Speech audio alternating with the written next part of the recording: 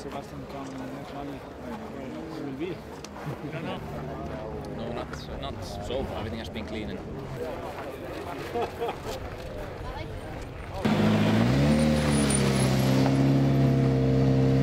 Yeah, we lost a little bit time, uh, a little bit more in the in the last stage because we make a small mistake in the hairpin and we lost some seconds.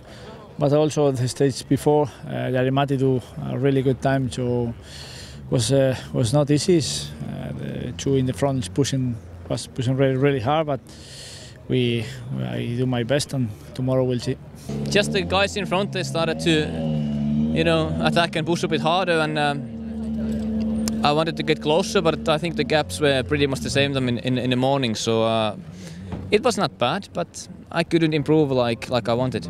A long day. Actually, we had uh, only one stage where we went through it clear without any issues, any adventures, any problems. Otherwise, uh, it wasn't perfect day. We lost. Uh, in many places like five, six, eight seconds, and uh, when you put them together, we lost around 35 seconds. So uh, when you have the uh, fight, uh, close fight with uh, Evans, it's uh, it will be better to have have a minute more. But we are happy we are here, and when the, everything was working, I think second loop we did very good driving. Uh, so I'm yeah I'm happy.